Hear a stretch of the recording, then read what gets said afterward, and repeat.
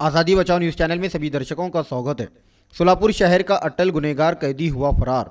सोलापुर शहर के कई पुलिस थानों में 27 केस दर्ज, संतोष संजय कामड़े उम्र 29 साल। जय मल्लार चौक, सोलापुर का रहने वाला पुलिस ने 24 नवंबर 2021 को एक एटीएम लूटने जाते समय गिरफ़्तार कर लिया था। आरोपी के गुनेगारी को देखते हुए सोलापुर पुलिस आयुक्तालय की ओर से 1 जनवरी 2022 को संतोष संजय कामड़े पर मकोका एक्ट लगाया गया। लेकिन 17 जनवरी की शाम 6 बजे के आसपास शांति चौक के सरकारी क्वारंटाइन में हाथों की बेड़ियाँ तोड़ पहली मंजिल से कूदकर भाग निकला।